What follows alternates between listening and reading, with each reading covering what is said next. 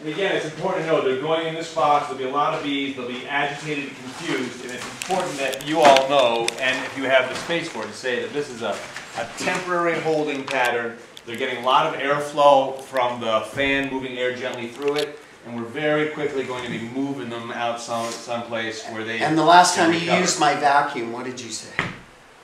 Uh, It was perfect. Oh yeah, it was perfect. Yeah, yeah. No, it was it was, it was the right amount of suction. Just enough to suck a bee off, but Yeah, not really enough to suck up anything hard. you couldn't get the hair off your neck if you'd had a good shave with it. And it's and more than that will kill bees and get get honey in there. And if you get honey and moisture in there, now you have bees tumbling through honey, and uh, you're wasting your time. You're just torturing them. They're gonna all die. And uh, like I say, a lot of people think you can do any damn thing you want with a vacuum, and it is not close to true.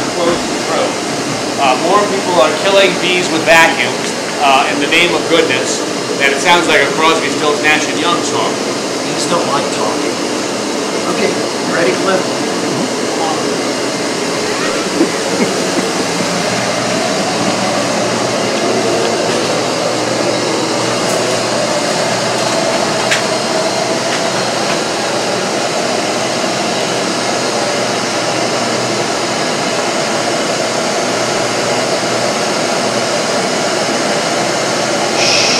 We're hunting bees.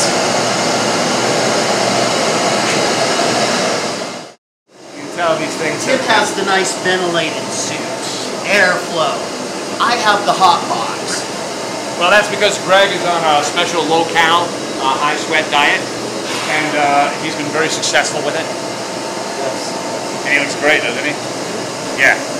Yeah, no, and I, you know, I work hives probably, uh, you know, four to seven hours a day, and uh, having what's called uh, a Brazilian suit uh, makes a big difference. It's a lot cooler.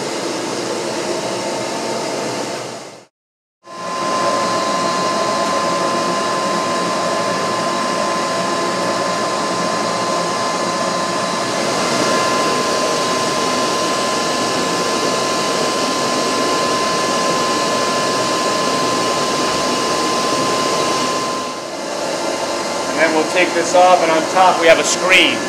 So when we're done, we'll take that off, the top of it off, and there'll be a screen there. Then we'll transport this out to a safe location, and I'll marry it up with the brood. And uh, and the bees are attracted to the brood. You, you kids, so you'd walk through fire for your kid, wouldn't you? And uh, the bees are the same way about their brood. Smell that smell right now in the air? So that's a pheromone tells you the bees are getting upset. It smells a little bit like bananas, and it's just because we're breaking up their hive.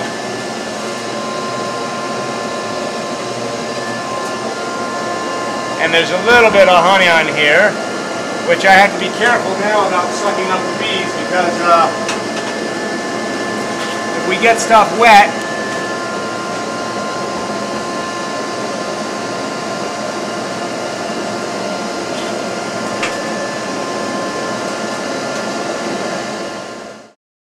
if it starts getting bad, we'd let you know. Yeah, you'd see me run by you. Yeah, uh, but then again, uh, you If know, I run by you, that's not a good, that's not a good sign.